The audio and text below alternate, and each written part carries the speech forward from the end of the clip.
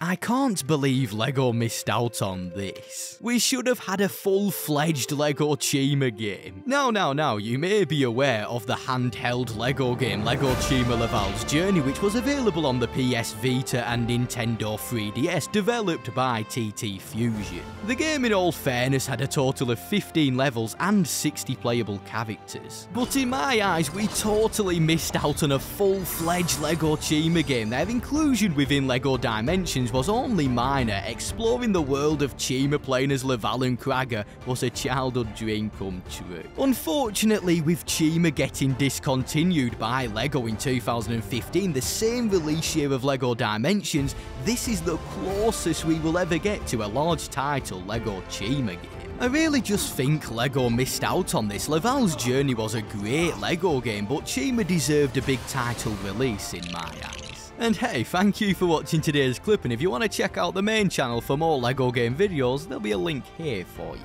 Adios.